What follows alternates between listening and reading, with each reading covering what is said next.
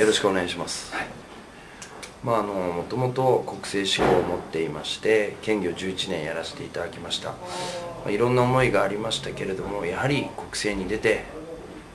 まあ国の法律を作る仕事をしたいというのが最初にあったんで今回がチャンスという思いで手を挙げさせていただきました。自民党が負ける前から昨年の8月30日の前から私はあの立候補の意思を表明してました。ですから負け自民党の敗北を受けてということではないんですけれどもあの地方議会の中から出したいと特に県議会の中から次の参議院出そうじゃないかというムードがあったんでですね。そこは僕ぜひ名乗りを上げさせてもらおうというそういう思いでしたね。とにかく大風呂敷政治というかパフォーマンス政治それをもうここで終わりにさせなければならないという思いなんですね、それがまず一つ大きいです、あのー、昨年の選挙それからそれまでの選挙マスコミの取り上げ方もありますけれどもシングルイシューですごく世論がこう動いたり、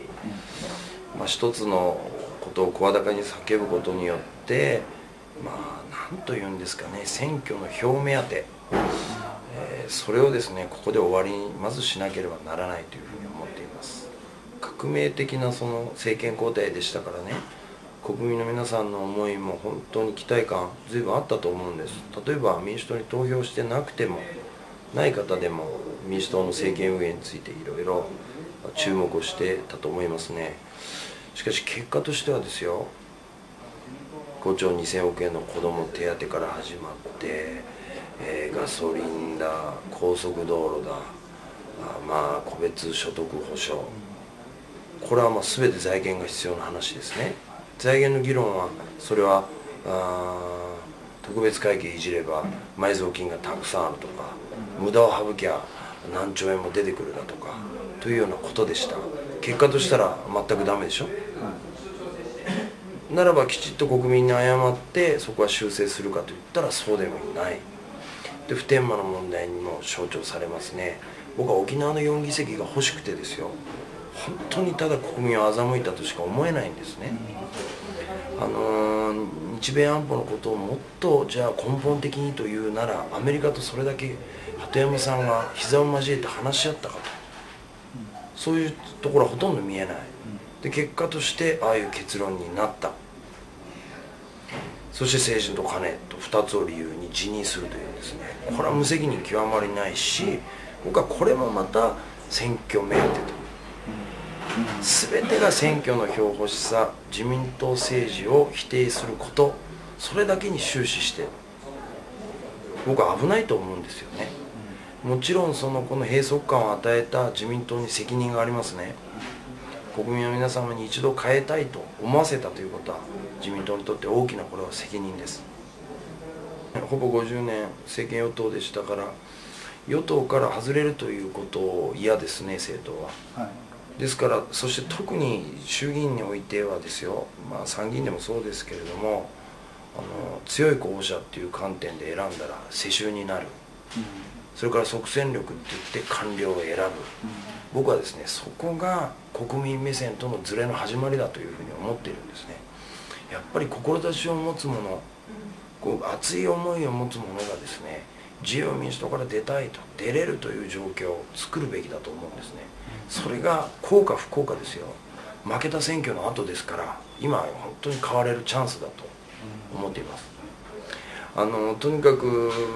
さっき言ったことがまず一番ですね。財源もないのに大風呂敷を広げて国民にいたずらに期待を持たせる政治はやめようということ、まあ、これが一つの大前提ですね。その中でやはりその内向きの議論が今多いですね。無駄を省こうとか天下りをどうしようとか官僚やっつけたら国民が喜びそうだとか、うん、そういうことももちろん無駄を省くっていう観点はですね失ってはなりませんねそれは新たなる税源消費税の増税含めて国民に間違いなく負担増お願いしなければならない時ですから。ですからここは絶対やらなければなりません。けれどももう少し視点を変えればですね僕は地方議会福岡県会議員を11年やらせてもらいましたね。そしたらやっぱりその中で福岡発世界とかですね地域の力で世界と勝負できる場面それを政治が後押しすればやれることってたくさんあると思うんですね。僕は特に北九州で公害を克服してきた。この環境。